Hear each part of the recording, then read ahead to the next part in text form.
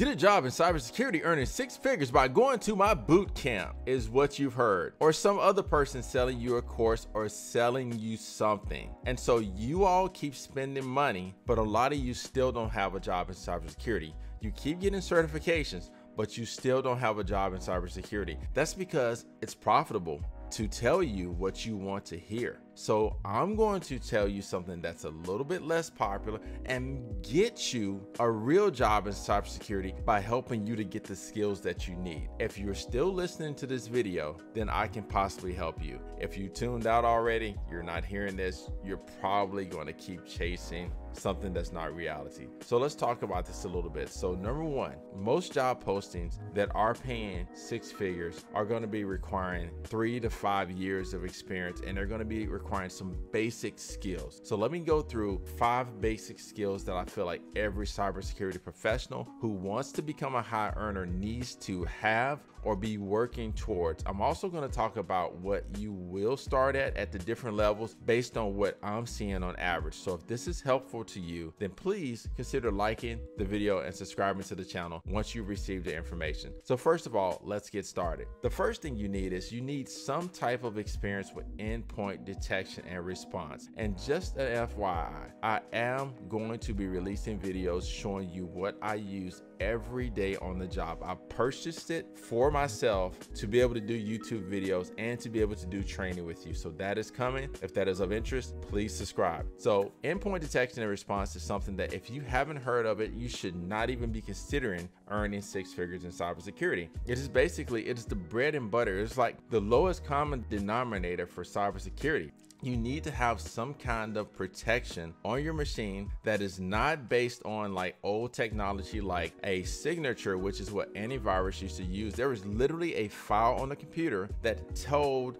the antivirus how to detect threats. That is all new products which are not available in target and walmart require artificial intelligence to be able to detect the threats. They actually can figure it out on their own and take actions. And most of these are used by Fortune 500, Fortune 100 type of companies. And the thing is, you don't have access to it because you typically have to buy it from a company as a company. Number two, you need to have some type of experience with understanding vulnerability management. Vulnerability management. It is a hard word to say. Some people say vulnerability. It's, it's I, I get it. I used to say the same thing. But anyway, vulnerability management is being able to identify vulnerabilities that exist on a computer, a device, or software, and being able to take the actions necessary to fix that. Hey, well, I can just install the patch. That is one way, that is the easiest way, and that is the way that most people tell you. But there are a lot of vulnerabilities that require you to know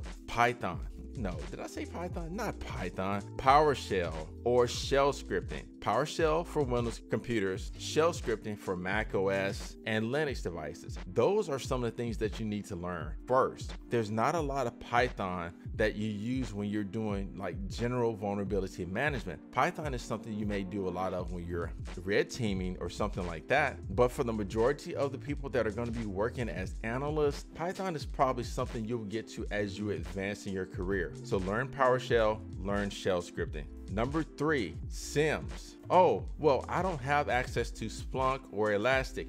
Liar. There are free editions of both that you can run. I just worked with somebody three or four months ago and they were able to actually set up their own Splunk. It's free. Go to Splunk's website, find the free edition. If you can't find it, you probably are not going to do good in the field because you have to be able to find things and you have to be able to like literally make solutions when there is not a solution. So go download Splunk, set up a virtual machine. Did I mention if you don't have a virtual machine running on your computer, you're already disqualified yourself from the field. Get a virtual machine up and get a Windows box and get a Linux Kali Linux box on it. Get a Windows evaluation. If you can't find that, once again, you're you're basically disqualifying yourself from being in the field. So once you have those type of things, I want to talk about some things that are a little bit less common. So you all you've got your endpoint detection, you've got your vulnerability management, patching. We did talk about the patches.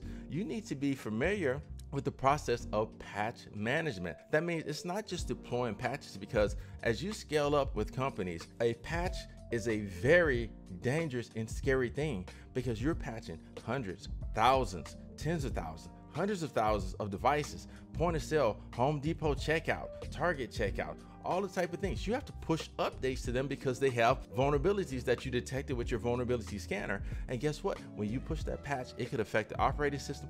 It could literally bring down the company. I've done it. Lucky to keep my job. 2012, it happened. I did. Brought down two thirds of a company. It's my story. It's my testimony now. But for most of us that have been in the field for a while, we have at times literally brought down lots of stuff. I know people that have brought down part of the East Coast of the United States. That's what you need to be concerned about. Also, talking a little bit about networking. Networking is definitely something good to have, but getting your network plus and your security plus give you general knowledge. They do not teach you the skills necessarily to do the job. That's why I want to show you endpoint detection and response. I'm going to show it to you and I'm going to change your perspective. That is the point of this channel to level set, to bring you back to the earth down to earth and to help you to really get the skills you need. Let's recap. We have your vulnerability management, we have your endpoint detection, we have patching. Something else, most companies struggle to keep track of how many devices they have. There are companies that have 10 devices and they can't figure out if they really have 10 devices. They may have like eight or six that have endpoint detection and your patching and stuff on it. So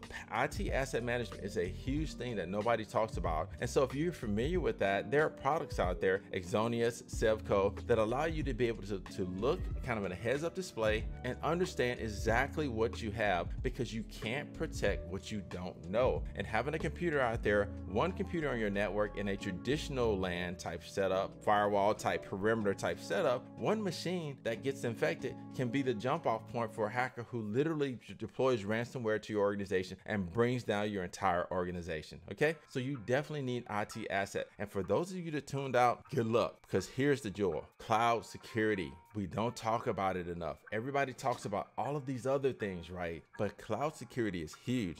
There are products out there that allow you to be able to aggregate logs from all of your cloud products. What are your cloud products? Gmail for work or whatever they call it. You got your Office 365, you got Slack, you got Zoom, you got many, many others, Salesforce, all of these different platforms that are cloud based. And if somebody gets into it, they can get access to your crown jewels because your crown jewels are not just in a firewall and your network anymore. Your crown jewels are in the cloud.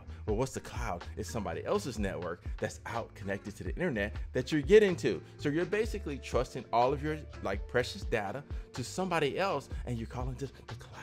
But it's just somebody else's network that's got a lot of good servers and redundancy maybe, and it's out there on the internet. That's not necessarily like that safe because people mess up all the time. They misconfigure credentials, people's accounts get hacked, and when they do, people get access to your cloud environment and they get access to everything, and your company is up on the news. Or maybe it don't because at this point, there's so many companies on the news that you have to like have a million dollar, two million, oh sorry, did I say million dollars? Sorry, 30 million dollar, 30 million records or something like that to even make the news. So there are companies that are hacked every single single day that don't even make the news. I hope that was five things. But once you have all of those things and you have experience in all of those things, yeah, you probably got six figures. But as an analyst, let's break it down as an analyst, and I probably should do a separate video just talking about the salaries. But if you're still here, here's what you need to know. As a junior analyst, expect 60 to 70K on average, okay? As a analyst, somebody who has a decent amount of experience, maybe one to three years, maybe a little hands-on, maybe a little the- theoretical, you may do